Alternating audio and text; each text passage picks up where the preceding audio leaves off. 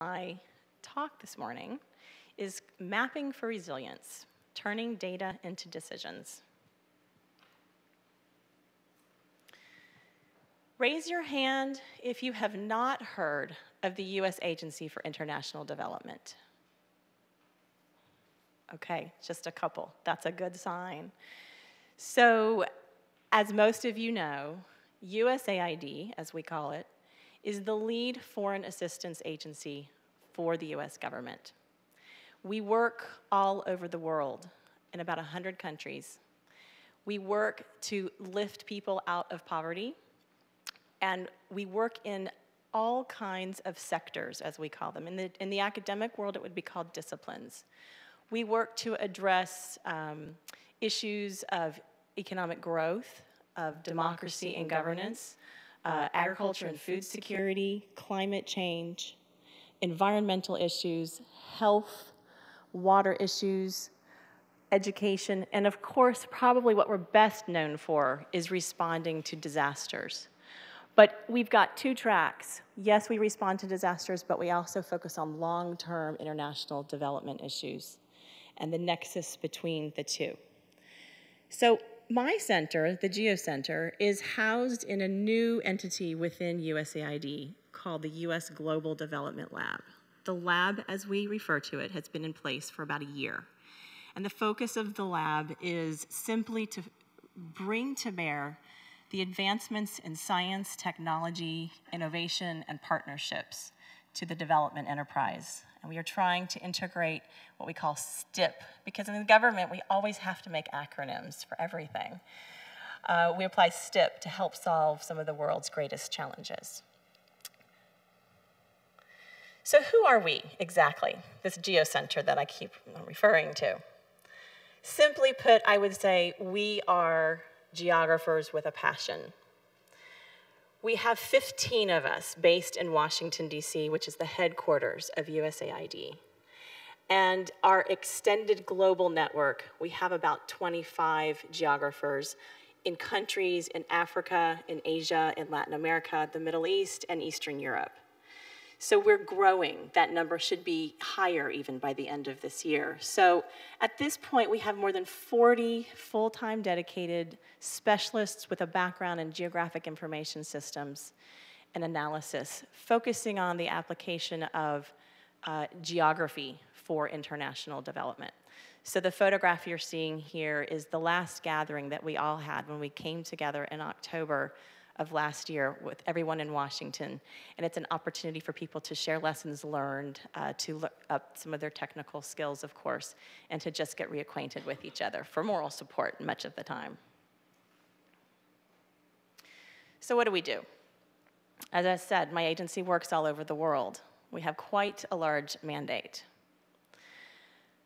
We really focus on geographic analysis for development programming. Development programming is a bit of a loaded term. What it means to us in the USAID world is applying geographic thought, mapping, analysis to all parts of what we call the program cycle. That means strategic planning. It means program design. It means monitoring our programs in the field. It means evaluating those programs. And it means communicating our results along the way. So that's kind of a big charge. We have multiple ways that we intervene in this program cycle with our colleagues in the field, with our colleagues based in Washington, D.C., who are experts in those sectors that I mentioned. We really want to understand where is the development need concentrated in the countries where we work. And then, of course, the big question that many of us in large organizations want to know is where are we actually working? Easy question, hard to answer. When you're a decentralized, large bureaucratic agency, it is actually hard to keep up with where you're working and what you're doing and whether or not you're working in the same place with each other. Sometimes tripping over each other, not intentionally, but it can happen. So we like to compare the two. Are we working in the places where the development need is actually the greatest? Many times these, these link up. They don't always. So as a geographer, from my perspective, it's hard for me to understand how is it that USAID has been around for over 50 years without applying ge the geographic approach to everything that we do. And in this modern era of information and communication technologies, that is exactly the revolution that I would say my team and I are trying to create from inside of the agency. We're a little bit of a startup inside of a government bureaucracy. Once we compare those two, we also like to understand, are some of our projects more effective in some places versus others? Sometimes we'll have a health project, a response to HIV and AIDS, for example, and the programs that we apply in one part of South Africa uh, may be some of the same programs that we apply in another part of Southern Africa region. Are some working more effectively than others? If so, why or why not? Could there be a geographic component that is having an influence on the, that effectiveness? We also want to make sure we are making the very best use of public funds. We are a US government agency, and the public has entrusted us to make the very best decisions about where we make investments in the developing world. So can we leverage investments? Is the health sector program doing something in the same place, for example, as our agriculture sector, dealing with food security? Can we possibly make the very most out of those limited dollars that we have? So using the geographic approach helps us better understand this. And then ultimately, we'd like to know where are other donors working? Are they also working in the same place? Are they working on the same issues? Do they have a different approach? But unless we look at it through this geographic lens, it's very hard to know until you find out sometimes too late. So I thought I would give you a few examples of the kinds of work that my team has been engaged with. We've been around almost four years. So we're still new to the agency compared to 50 plus years. We're still in the process of demonstrating our value. I can't quite say that we've been in place for 10 years the way that the OSM community has been, but I can tell you that it took nearly 10 years for me to get a new startup idea in place inside of the agency. So we're going through a process of looking at what's working, looking at what isn't working so well, and how do we move forward to demonstrate the value of this geographic information. And one of the things in particular that we're focusing on right now is understanding better the biodiversity threats and the drivers of deforestation in the Amazon region, Peru in particular. So that takes data. That takes an understanding of what's happening on the ground. Yes, we use satellite imagery for this to get a big picture sense of what changes are happening over time, and we map that. But we also have to go to the ground. We also have to talk to people there and understand what's driving their behavior, what's driving their decisions. Why are local people doing things that have the impact of actually destroying their local environment? Economically, there are incentives for them. There are gold mines uh, that, that provide opportunities for income that were not there before. So providing geographic information is essential in telling the story at the local, at the national, and at the international level. And it's also essential for USAID in the region to better understand with data and evidence how to and where to invest our programs over the next five years. Some images about what we've been doing in Peru lately, and this will extend beyond Peru to the greater Amazon region. This gives you a sense, if you're familiar, of course, with imagery, as we all are, because everybody looks online now to see, if not their house with Google Earth, you're usually mapping with OSM, hopefully, and we're using high-res imagery to see what's going on on the ground. So this is kind of giving a sense. It's pretty shocking when you start zooming in closer and closer to see, and then when you go to the ground and see why local people are engaged in activities because of the economic opportunities that it affords them. There are health repercussions from these activities, however, and that's another way we're using geographic information to get that point across. A project that we just wrapped up last year was a really interesting one in which we collaborated with the Department of Defense a non-traditional partner for USAID, working with uh, specific parts of the military. But Niger is a country in West Africa in the heart of the Sahel. It's one of the poorest countries in the world. And it is critical to the stability of the region. There have been quite a few activities underway in the region. If anybody's heard of Boko Haram or Al Qaeda, there are activities that are happening in this part of the world that are having an impact on people locally and are affecting their livelihoods. So the military was interested in working with USAID because we realized we're both interested in the same places. We just have different ways of operating to address the issues. And the military recognizes that if we on the civilian side can understand some of the vulnerabilities and the challenges and the shocks to people locally and address them at the front end, then perhaps we could avoid dealing with it on the back end when the situation becomes more conflict oriented. And it's not to say that there's a direct causal relationship between vulnerability and extremist behavior, but we do want to be understanding what are some of the challenges to people locally that might be a driver for becoming involved with activities that are, are not so uh, stable for the region. So our work involved a very interesting um, new method. We used publicly available information published by the World Bank uh, survey, household survey data across the entire country of Niger. Very deep information, statistically analyzed it to better understand what kinds of shocks people were subject to at the household level. The things we learned were fascinating. It, we learned that it matters what the gender is of the head of a household and the decisions that get made. We learned that it matters what the age of the head of household and the age of many of the household members are younger versus older. We learned that it matters what the ethnicity is in the mix of the household in terms of their uh, vulnerability or not. And we learned that it matters who has access to uh, community services.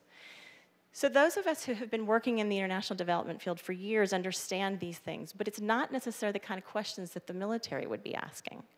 So for us to come together and have an opportunity to collaborate, it was an experience. We, were, we both learned from each other. We have our own acronyms. The Department of Defense has many of its own acronyms. But the mapping part allowed us to have a common operating picture with data that was statistically analyzed that gave us confidence in what we were seeing. And we presented the results to subject matter experts who understood the health challenges, who understood the food security shocks, who understood some of the changes that have been occurring over time in this region in terms of uh, rainfall and access to basic natural resources. And we also were able to create a dialogue that started in the same space. It was a new opportunity, and we have, we have discussed how we are going to move forward in the future. But that analytical process is now influencing a new US government policy focused on the Sahel region that was not there before, that will involve what we call a whole of government approach, in which the State Department, the US Agency for National Development, and the Department of Defense and others will collaborate on bringing our talents to bear to address some of these challenges. So that's one of the results of, of the, the maps that you're looking at here in terms of decision making.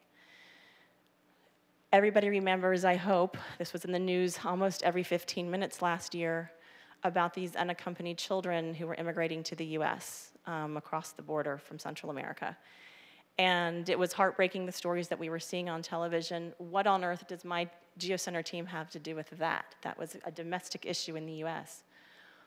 Well, it turns out that um, USAID works in the countries where the children were originating and being able to understand what the drivers were for families to send their children on such a treacherous journey uh, to the US for un unsure results upon arrival, um, it turns out that, well, we need to understand what's causing this in the first place. And so it gave USAID a seat at the table among principals at White House level meetings of the Department of Homeland Security, uh, the Health and Human Services, the big players in our US government who are, who are grappling with how to handle the situation. So our team got involved with mapping and gathering data at the local level to best understand where are the children coming from? How does that compare to poverty levels? How does that compare to where USAID is already working? And we were able to determine some very interesting things. USAID was working in some of the very stressed neighborhoods in the country of Honduras, for example, but we weren't working in all of the parts of the country where the issues were. We also learned that the drivers for children leaving in Honduras were not the same as in Guatemala. In Honduras, it was more based on um, families that could afford to send their children, and we looked at homicide rates. And the safety and security. And so families were sending their children because they felt it would be safer where they would end up versus where they were.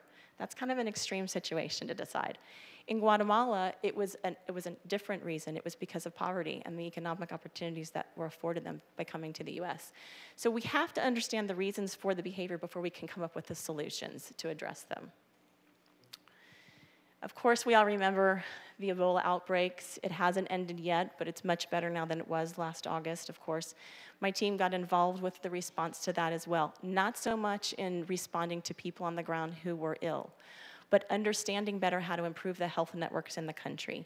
We take for granted in this country that we can use a cell phone, that we can send information instantly, either to the person in the back of the room in a conference room or someone to the other side of the world this is a country and this is a part of the world that doesn't have access to information the way we do so quickly.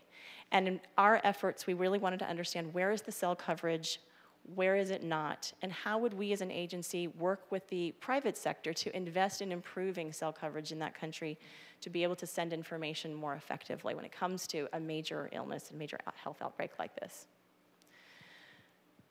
Some of our greatest challenges in the GEO Center, this will come as no surprise, is finding the available data that will be relevant to the problem that we're trying to address once it's clearly defined. If any of you have ever been in a situation of, of having a concept that's difficult to define and then trying to find data that could be a proxy measure and then analyzing that data, it's a pretty long process. We get asked internally by our colleagues who don't know this process, hey, can you make me a map for that? um, all they see is the map at the end, but there's a lot that goes on behind that map, and there are iterations before the final maps get presented. So we need data, and we need quality data, and we need completeness of that data. It's key to everything that we do in influencing the kinds of decisions that we are in the position to influence. In 2013, we engaged in a very unique partnership at USAID we partnered with our very close colleagues at the State Department and the Humanitarian Information Unit. We partnered with colleagues in the World Bank. We obviously took advantage of the incredible uh, platform that the OSM community has been able to establish. And we partnered with a local organization just getting formed called Kathmandu Living Labs, made up of many students from the university in Kathmandu and a very dynamic champion who started the organization. And it was in anticipation, frankly, of a possible disaster around an earthquake. We knew that this could occur. This is a seismically active area. We had no idea when it would occur. So we engaged in an experiment, all of us together. And we worked with GW University, based in Washington, D.C., George Washington University, and the geography department there, which is very forward leaning in focusing on open data. And we engaged the students on how to use OSM with high resolution imagery, of course, is the backdrop, and we began to map from afar in Kathmandu. That base data then, of course, was available in OSM, and the students in KLL then validated the data and added the attributes and really went from building to building to understand how many students are in this school. This is a picture of, of uh, us talking to one of the uh, principals of the school validated um, the height of the buildings, the materials they were made of, basics like this. So this information then, who knew, would be available less than two years later when the earthquake hit, April tw uh, 25th of this year. And that base data was available, and we were able to get that base data downloaded onto GPS units before search and rescue teams left from the US to go to Kathmandu to do what they do best. Imagine going into a place you've never been to before and you're asked to save people's lives having a map is critical. And comparing this effort to what we did, we, this is the collective we, because the Geo Center wasn't in place then, uh, the response to the Haiti earthquake, it's like night and day, being able to have that kind of information available to search and rescue teams. So we've been able to collaborate with the Office of Foreign Disaster Assistance and other humanitarian response organizations that are using this information. It's very heartwarming to know that the work we've put in, the room collect, you know, it, people in this room collectively have been able to help out in that way. It's not heartwarming to see the tragedy, but it's heartwarming to know that we can help in our talents that we believe in. So I don't need to tell you more about that because I'm sure everyone here has the earthquake still on their mind because the, re the re response is still underway. But this was an opportunity for us through this Open Cities program to decide, all right, how do we in the GeoCenter and USAID take advantage of this amazing community of volunteer mappers? How do we take advantage of a platform that's still in the making, but still is usable? And how do we match that supply with a demand that we as a government agency, with our mandate to deal with some of the most pressing challenges internationally, how do we make that work? So we're still figuring that out, but we've come up with a program and we're calling it Mapping for Resilience. We're trying to look at the opportunities that having this data available for response to disasters affords, but also for the long-term international development to create more resilient communities. As I mentioned earlier, we need complete data sets, foundation data layers for road networks, urban infrastructure, open spaces, land use, non-urban areas, for the kinds of things we're doing. And we would love to see in five years, well, less than five years, if I could put a vision out there for this, for this community, I'd love to say let's shoot for creating complete data sets that start and end in an area, but not start, not end in the middle. A, a road half mapped isn't really gonna be able to help us do the analyses that we need to do. So these photos you're looking at here are literally hot off the press. Just this week, uh, my team was in Bangladesh. We are working on a food security program with our local field office there. And uh, Chad Blevins, if he's here in the audience, uh, okay, raise his hand in the back, is the one who literally just got off a plane from Bangladesh. I don't even think he's had a chance to sleep 12 hours, or been back 12 hours yet. But um, he led an effort with students at Khulna University in southeastern Bangladesh to teach them how to use field papers. Because the students at GW, we've continued that relationship that we started when we were looking at Kathmandu, and we've had them map an area in Bangladesh that is of importance to our USAID field office where the food security programs are being implemented and where they need basic map data to understand where to put the programs. So we've again created this, we've created this virtual partnership between students in the US and students in the developing world. In our last Mappathon, we engaged with Texas Tech University, and we also have Patricia Solis here from Texas Tech representing. We're creating a new partnership here. We're trying to empower the young people of the world to map their world, to have a voice in what their world looks like, and to put their communities actually on the map. And by doing this, we're also creating data that our own agency can make use of for making better informed decisions about international development challenges. So moving forward, we envision a partnership going forward that's unusual for us. We want to map the areas of greatest need, of course. We want to empower local communities.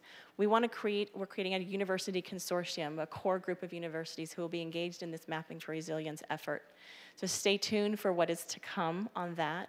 But we're very excited about creating youth-led mapping chapters on campuses around the world because together, that's how we will ultimately map our world.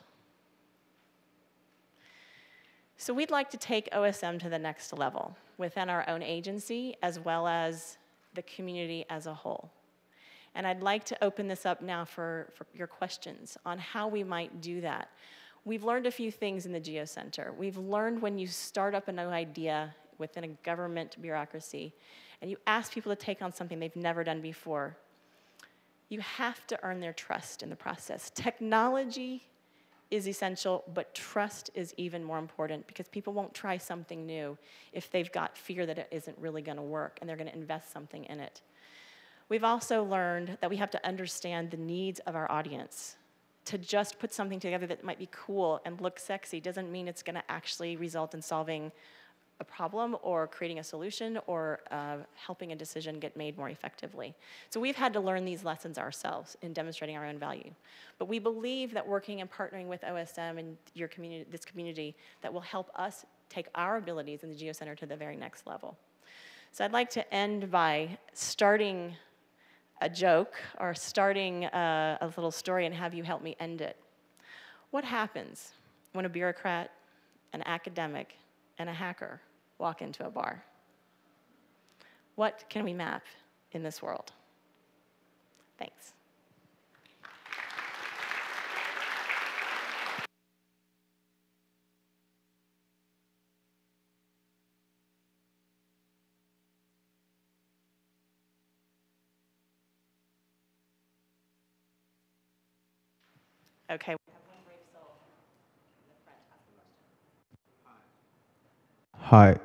Um, yeah, very quickly, my name is Julio.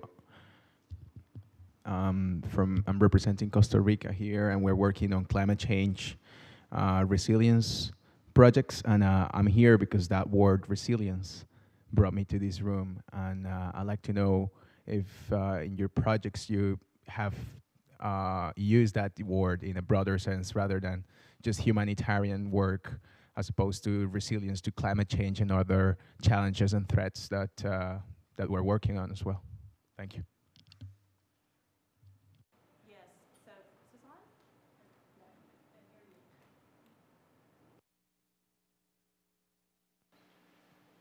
Hello? Yeah, okay. So um, I would say it's, it's, it's, uh, resilience is a very general term, and we are using it in the international development field in so many different ways. There are definitions. In AID, we have a whole uh, community focused on resilience to climate change impacts, to global change impacts, to all kinds of different changes over time, and how do we create more resilient communities. So in our work, we are saying we would like to be able to apply the geographic approach to this effort looking at resilience, all the different kinds. My particular background happens to be in climate change, so my heart is, my foot's in the climate change door. Um, but yes, it is to actually create geographic information, but not just create the data actually we need to analyze this data and we have to combine it with other kinds of data. It's not just the foundation layers, but what my team, what we realized when we got into this analytical process was, okay, we just need the basics here. We can't even get to the higher order analysis unless we've got some of the basics. And it never occurred to me that I would be in the business of creating that data. But when we realized we didn't have it, we didn't want to wait around for somebody else to do it. We said, all right, how can we do this? Who are the communities that are already doing this? Who are the passionate ones that we can link up with? And go forward together.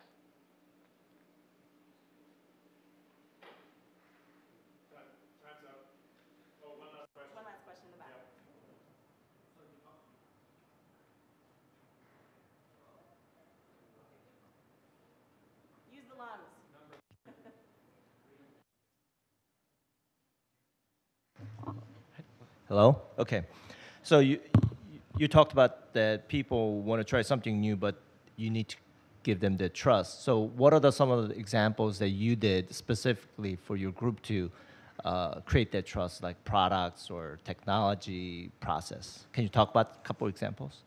Excellent question. Very good question. I'll tell you the first thing, we listened. We just asked them what they needed and we listened. It doesn't mean that we promised we, were, could, we could deliver it. We just listened to them.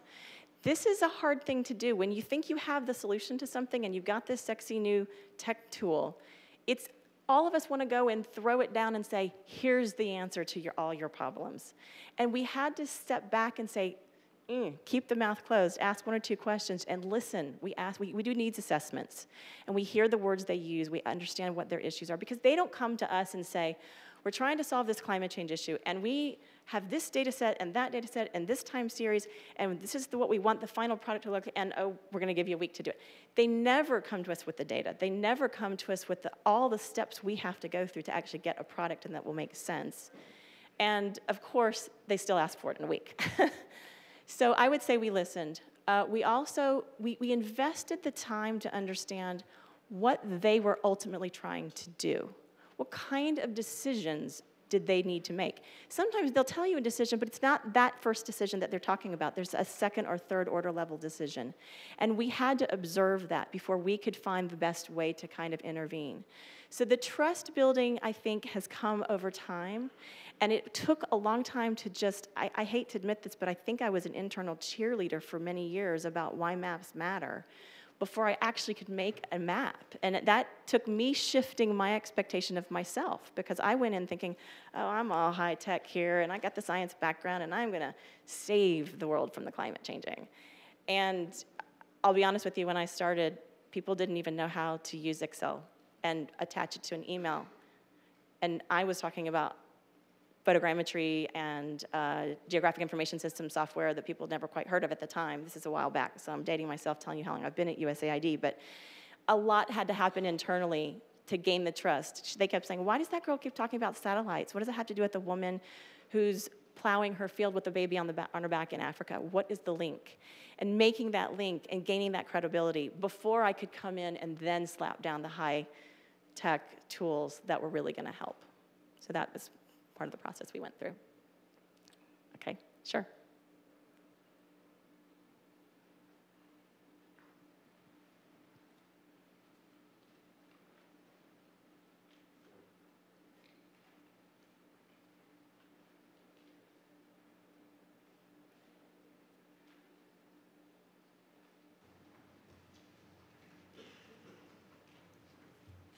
Still trying to get technology to work here in terms of communication, so, all right. Hi, uh, nice presentation. So I am Asan from Bangladesh. So uh, last week actually I was talking with Chad, and then we, we were discussing about that uh, the sustainability of these OSM projects actually we are doing. So uh, uh, can you go the uh, back one slide? Uh, no, next one. This one? Uh, there is the empowered local communities to map their world and university consortium. So actually, I was uh, uh, talking about the uh, sustainability. Actually, Uh, do you think that in your project that uh, it should not be like that the project is finished, that everything finished? That what you are thinking about the sustainability of that of this initiative, your great initiative? Sure, I love that question because the key word here is sustainability. We're all about making sure that what we do has a lasting impact. And there's no secret sauce for that. There are some key things we've learned along the way, but what works in one place doesn't necessarily work in the other place, but we're trying to learn. So the answer is I absolutely want this to be more than just one one off fun mapping event with students in the field. We absolutely want to figure out a way to empower this to be more than just even the 25 students we were working with in this last week, but to have students across your country actually doing this and feeling empowered to do it. I want to give you a little information that, that, that I didn't mention earlier. Talk about passion. These students that were mapping their community don't even have access to the internet on campus. They were out there with field papers, and they collected this information, and then they use mobile uh, Wi-Fi connectors that our USAID mission provided to be able to upload this information. This work that we're all doing here is new, it's creative, and it takes passion to oversee every obstacle along the way, whether it's a technology obstacle, whether it feels like it might be a funding obstacle, whether it's just an obstacle because people say no and they can't understand the vision you have in your head. It takes time, but look at where this community is in 10 years. Yeah. Look, and I can't sit here and say I've got all the answers with my team, but we're in existence now, and nobody believed we could do it 10 years ago. So I am all about trying to figure out creative ways to make sure we can ensure that this is sustainable. I don't have all the answers quite yet. I'd love to follow up with you and get some of your creative thoughts on how we can make that happen. So, uh, so it's a big, very big platform. So, would you allow me to suggest three things for, for the sustainability? Absolutely, suggest Oh, away. Okay. So from my experience, I found that uh, uh, yeah, technology is an obstacle, but uh, if we want, then we can uh, uh, come up with that. That's not problem. One is that uh, what we have to do, that is the collaboration. Different organization is working with the same thing, but there is no collaboration. This is one thing. And second is that uh, there should be a policy advocacy so that uh, if it is in the government system, if you come uh, bring it in uh, under government policy somehow, then it, it, it will last for long. And third is the uh, try to bring this thing in the academic curriculum. Uh, so the students, at least the students who are actually uh, studying environmental management and then geography. So if we can bring this type of technology in the curriculum somehow, and then uh, it will it will last long. Actually, I, I believe. Thank you. Great suggestions. I'd love to follow up with you further because what we learn in one place, we want to be able to take that learning and apply it to the next place. Thank you. Yeah. Thank you. So with that, I think we're absolutely out of time, and I would like to hand this over to our next speaker. But one last very geeky thing that I can do as a girl, I can't wear a tie up here, but I do have a skirt that you probably can't see, so I'll stand out here. I've got to just show this off. This is what a mapped world looks like.